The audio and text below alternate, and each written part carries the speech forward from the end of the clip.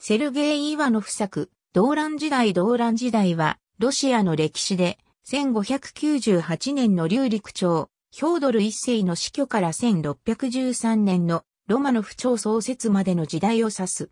1601年から1603年にかけて、ロシアは当時の人口の3分の1に相当する200万人が死ぬというロシア大飢饉に見舞われた。また、1610年から1613年にかけては、ツァーリ不在の空位時期に陥った。さらに1605年から1618年にかけてのロシア・ポーランド戦争で、ロシアはポーランド・リトアニア共和国に占領され、民衆の放棄が起こり、行為散奪者、行為戦勝者が次々現れた。ボリス・ゴドノフ1598年、ヒョードル一世が没して、劉陸長が断絶したため、後継者問題が発生した。この時、ヒョードルの義兄にして側近であり、すでに精神を病んでいたヒョードルに代わり摂政として、統治に当たっていたタタール系の大貴族、ボリス・ゴドゥノフが、当時の身分制議会である、ゼムスキー、ソボルによって、後継者に選ばれた。劉陸長の血を引かない、ゴドゥノフの短い在位期間には、病弱な、ヒョードルの知性よりも、さらに統治が困難に陥った。この頃、南米のワイナプチナ火山が大噴火し、その噴煙が大気圏上層に達することで、世界的な異常気象を引き起こしていた。ロシアでは1601年から1603年に、ロシア大飢饉として知られる極端な凶作となり、夏でも夜の気温が氷点下に達し、作物を全滅させた。飢餓は広がり、やがて大飢饉となった。政府は金銭や食料をモスクワの貧民に配給したが、結局それは難民の首都への流入を招き、経済的混乱を加速させることになった。加藤制の一角を率いていたロマノフ家は、これ以上大貴族に従うことは地辱であると考えた。陰謀が横行し、地方は飢饉とペストによって荒廃していった。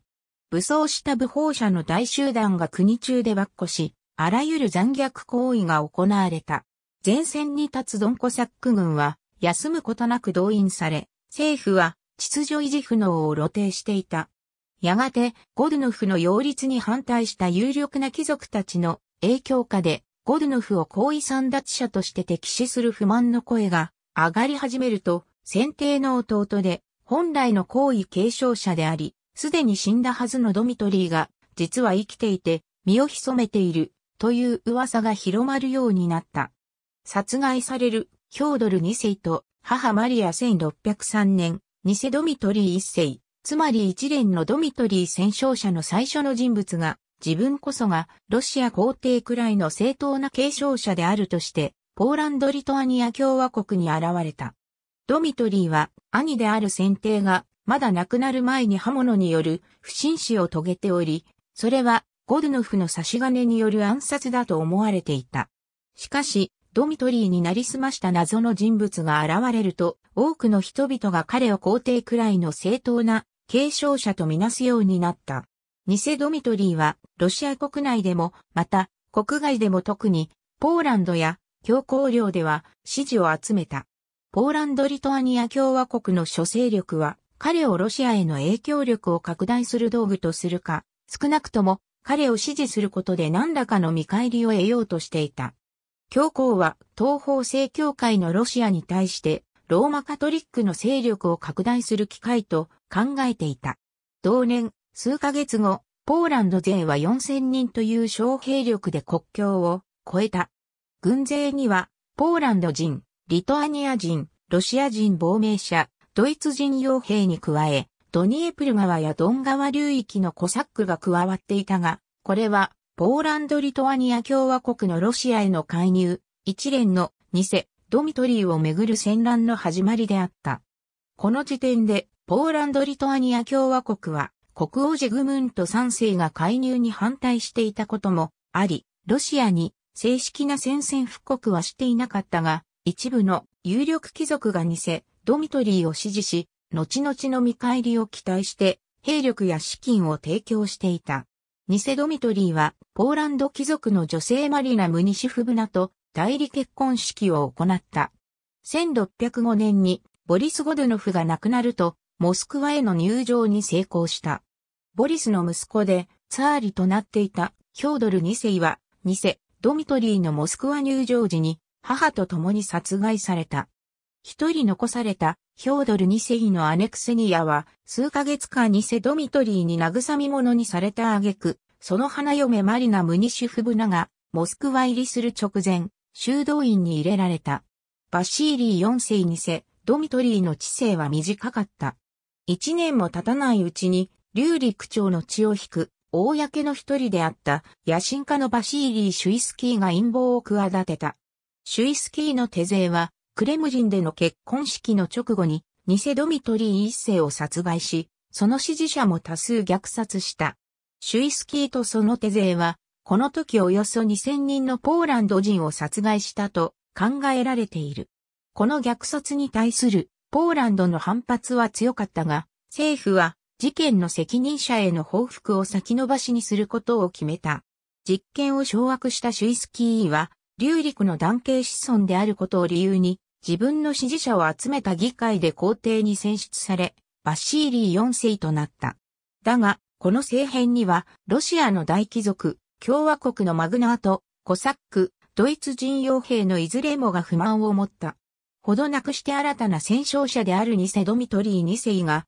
現れ、イヴァン・ライテイの息子にして正当な継承者は自分であると主張した。先行したニセドミトリーと同じように、この戦勝者もポーランド・リトアニア共和国のマグナートたちから保護と支持を得ていた。これに対抗して、シュイスキーがスウェーデンと同盟を結び、ヤコブ・デラガルディが率いるスウェーデン軍がロシア国内に介入した。ポーランド・リトアニア共和国国王、ジグムント3世は、ロシアとスウェーデンの同盟関係を危機とみて、ロシアへの介入を決意し、ロシア・ポーランド戦争を始めた。老齢のバシーリーを支えたのは若き老いのミハイル、スコピンシュイスキーである。ミハイルは、有能な将軍であり、ニセ、ピョートルやイヴァン・ボロトニコフによる反乱が起こった際に、その鎮圧などで多大な軍功を挙げた。このため、老齢で無力なバシーリー4世に代わって、後継者として国民に望まれたが、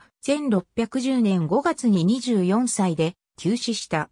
虹にノブゴロドの人々に、ポーランド人に対する義勇軍の決起を訴える、ミーニン。ポーランド・リトアニア軍は、ロシア国境を越え、スモレンスクを包囲し、20ヶ月に及ぶ工場戦を展開した。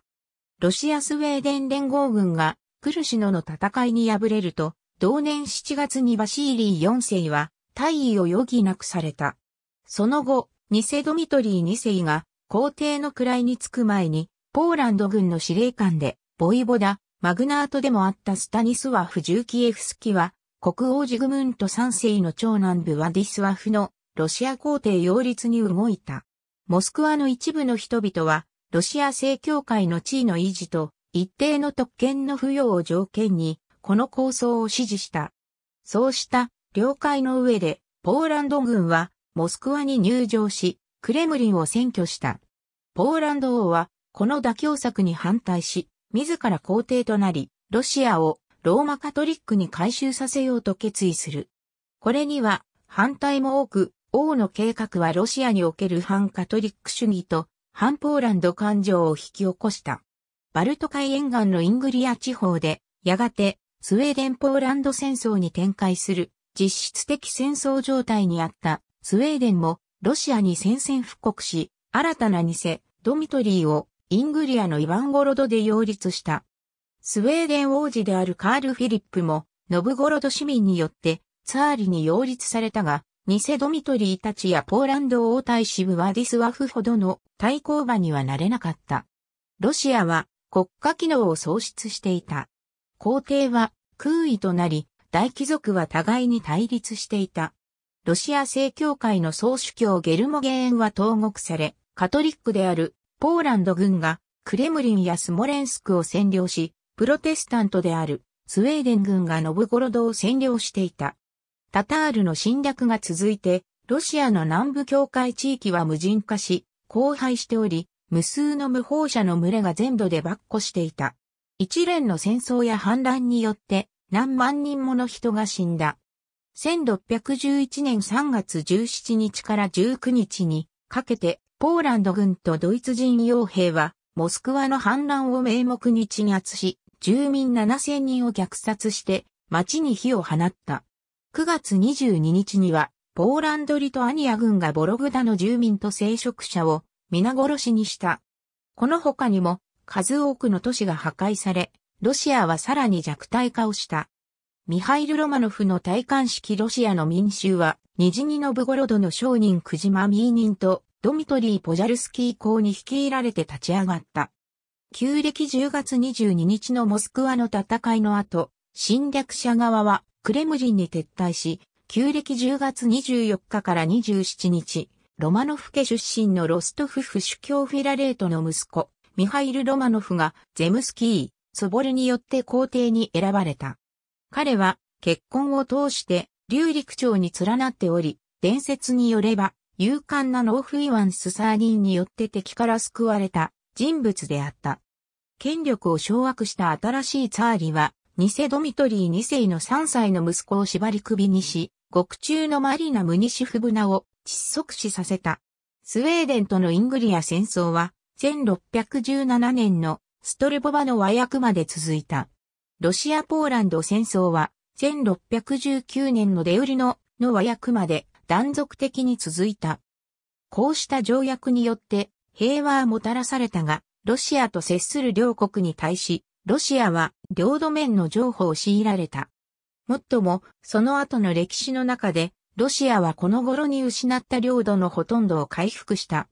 最も重要だったのは、危機的な状況を通して、ロシア社会の諸階級が、ロマノフ朝のツァーリを中心に一致団結し、強力なロシア帝国の基礎を築いたということであった。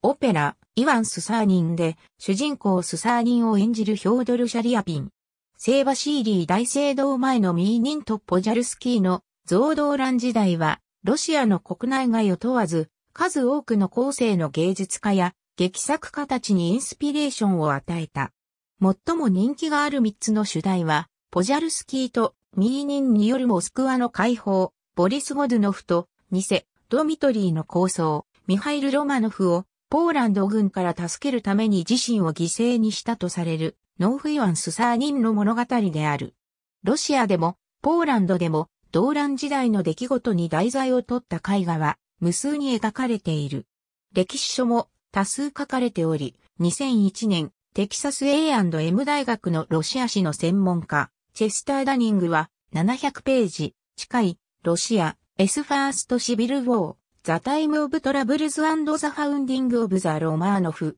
ダイナスティを出版した。調査と執筆に12年が費やされたという、この大著は、ペンステート・ユニバーシティ・プレスから出版され、ブック・オブ・ザ・マンス・クラブが運営する、ヒストリー・ブック・クラブで取り上げられた。ダニングは、近代ロシアの起点を1613年のロマノフ朝の創始に置くことを主張している。ダニングは、動乱時代のことを広く調査し、それがロマノフ朝の基礎となったことを論じている。この記事にはアメリカがありがとうございます。